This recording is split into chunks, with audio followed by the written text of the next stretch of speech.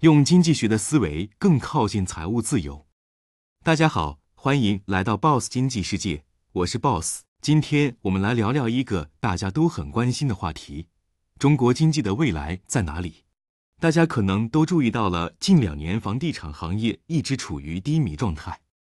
它就像一辆熄火了的引擎，拖累了整个中国经济的增长。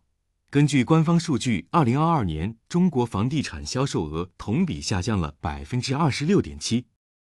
房地产投资同比下降了百分之十。这种疲软状况持续了近两年时间，给中国经济带来了沉重的压力。为什么房地产会变成负担？第一，固定资产投资疲软，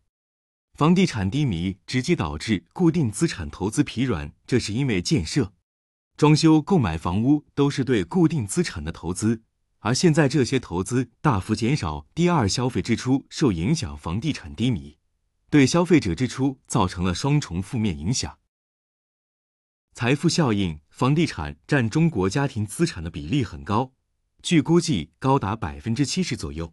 房地产价格下跌，就直接减少了家庭资产，导致人们消费信心下降。收入效应，房地产业直接或间接为数以千万计的人口提供就业机会。房地产低迷，导致这些人收入减少，自然也减少了消费支出。第三，信贷市场收缩，房地产行业一直是中国贷款的最大领域。由于房地产低迷，银行对这个领域放贷更加谨慎，甚至出现逃离房地产的现象。这进一步加剧了信贷体系的收缩，导致市场整体需求不足。总的来说，过去二十年间，房地产一直是支撑中国经济高速增长的主要动力之一。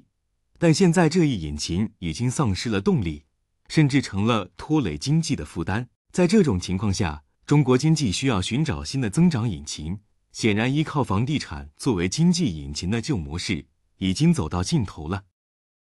那么，未来中国经济的增长引擎在哪里呢？大家可能会想到，汽车产业现在发展势头不错。二零二二年，中国汽车销售额同比增长百分之五点四，市场规模已达到九点七万亿元人民币。但它真的可以取代房地产吗？答案是否定的。汽车产业虽然蓬勃发展。但它的规模仍然比房地产销售小一个数量级。更重要的是，汽车产业高度依赖于制造业，而中国的制造业已经很大了，很难再像以前那样依靠出口来推动增长，因为这会引发更多的贸易摩擦。有些人认为可以依靠扩大制造业规模来替代房地产引擎，但这并不现实，因为中国的制造业已经非常庞大。占全球制造业总量的百分之三十左右。如果再通过出口大幅提升制造业规模，势必会与发达国家遭遇更多贸易摩擦，也会加剧全球资源的浪费。没错，新的经济增长引擎就潜伏在我们的日常生活中，教育和医疗保健这两大领域，蕴藏着巨大的发展潜力。为什么教育和医疗保健可以成为新引擎？第一，巨大的市场需求，长期以来。住房、教育和医疗一直是中国人民肩上的三大负担，也是人们日常谈话中最热烈的焦点。第二，需求尚未完全释放。过去二十年，中国的住房问题已经得到显著改善，但在教育和医疗领域，由于体制机制障碍，中国民众的消费意愿尚未充分释放，这代表着巨大的增长潜力。第三空间广阔，成长快速。根据世界银行数据显示，到二零二二年，服务业占中国总就业人数的比例约为百分之四十七，而处于类似发展阶段的国家的平均水平为百分之六十二。如果中国能够把这一比例提高到百分之六十二的水平，将释放出数以百万计的就业机会。此外，服务业，特别是教育和医疗保健领域的劳动生产率仍有很大的提升空间。二零二三年，美国将 GDP 的百分之二十以上用于教育和医疗保健，而中国的相应比例远低于此。为什么教育和医疗保健是未来趋势？第一，教育是人力资本的累积过程。许多研究表明，教育投资有助于提高劳动者的技能和生产力，从而支撑经济的长期增长。与许多国家的十一年或十二年义务教育相比，中国目前的九年制义务教育还有很大扩展空间。第二，医疗保健延伸劳动力寿命，完善的医疗保健体系可以支援较高的人口平均寿命，从而有效延长劳动力的工作年限。以日本为例。该国拥有世界一流的医疗水平，支撑了令人瞩目的平均寿命。因此，日本六十五岁以上老年人的就业率高达百分之二十五，远高于中国百分之十八的水平。这说明了发展医疗保健产业对于缓解老龄化社会带来的压力至关重要。第三，内需扩大，外部失衡减少。中国过去的发展模式过于依赖投资，拉动未来发展必须更多的依赖于人力资本和创新，而教育、医疗等服务业的发展将有利于扩大内需，减少对外过度依赖和失衡。当前来自国内外的一些质疑声音值得重视，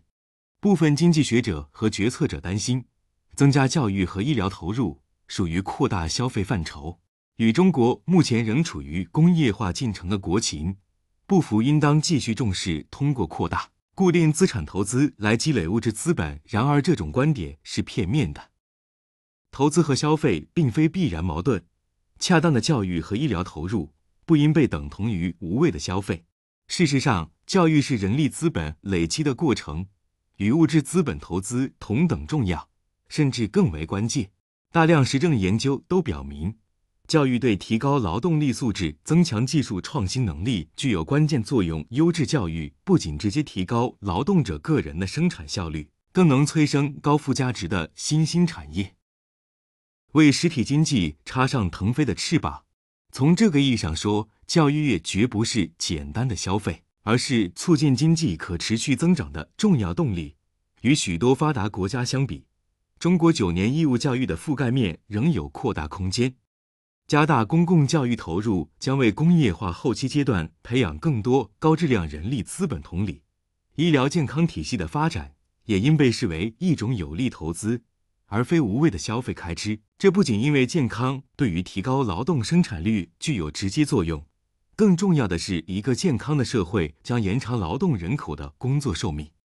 减轻日益加重的老龄化负担。以日本为例。该国医疗保健体系先进完备，平均预期寿命在世界上名列前茅。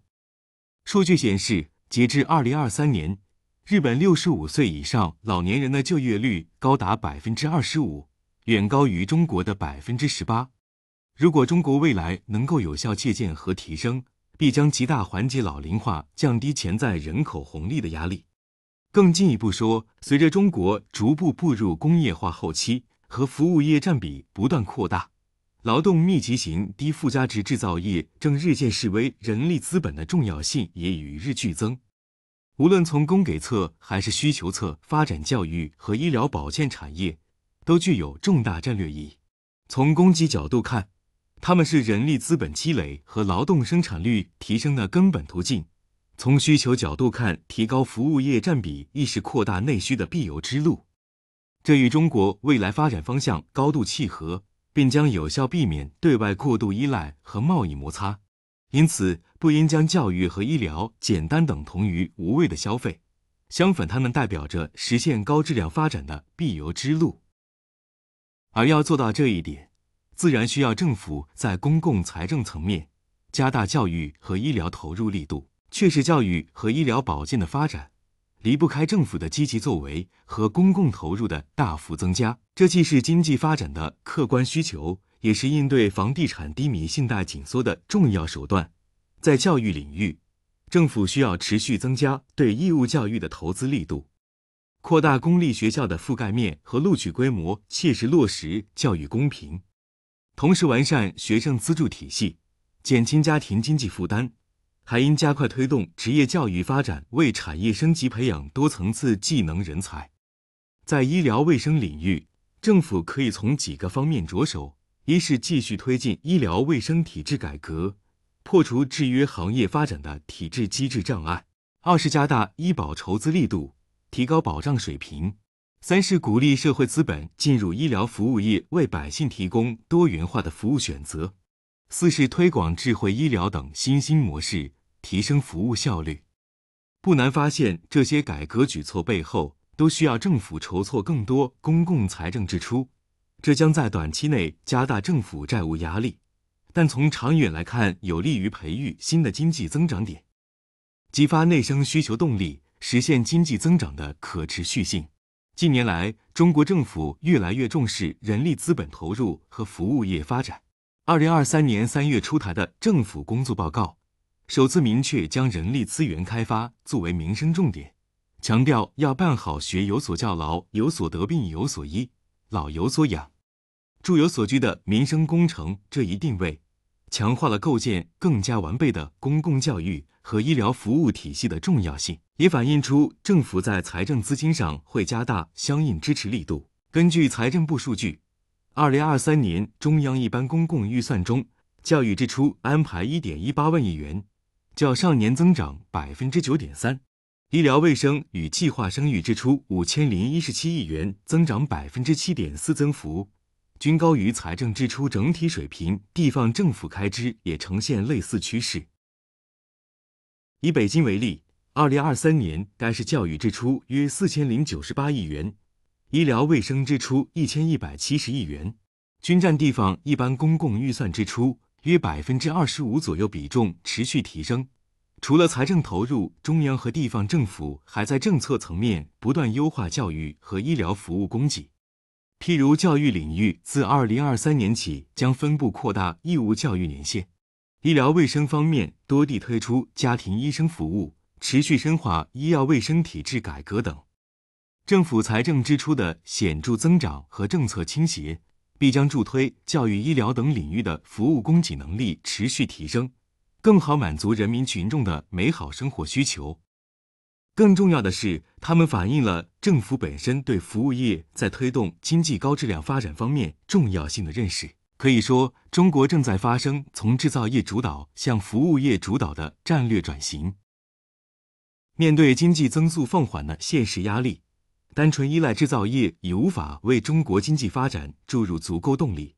制造业和服务业实现良性互动、协调发展，正是打造新增长引擎的关键所在。在供给侧制造业是服务业发展的物质基础，两者相辅相成。譬如，先进制造正是智慧医疗、在线教育等新兴服务模式的重要支撑。同时，发达的教育和医疗体系也将为制造业输送更多高素质人才，在需求侧服务业通过提高就业和家庭收入水平，将为制造业产品创造更加广阔的内销市场。这一点在中国的一线城市已经初见端倪。随着居民消费能力的不断提升，各类服务消费已经成为拉动制造业需求的重要力量。当前，中国制造业规模虽然庞大，但面临产能过剩、增长乏力的困扰。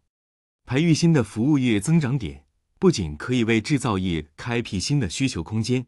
更可以吸纳制造业剩余产能，形成良性循环。因此，未来中国经济发展应平衡好制造业和服务业的关系，实现制造服务业双轮驱动，以制造业保持韧性增长为基础，重点发展教育、医疗等生产性服务业，提供优质公共服务，满足人民群众对美好生活的需求。通过这种方式培育新的经济增长点，中国经济必将展现出更强劲的内生动力，步入高质量发展的新阶段。展望未来，教育和医疗保健产业将迎来前所未有的机遇期，这其中蕴藏着巨大的商业红利，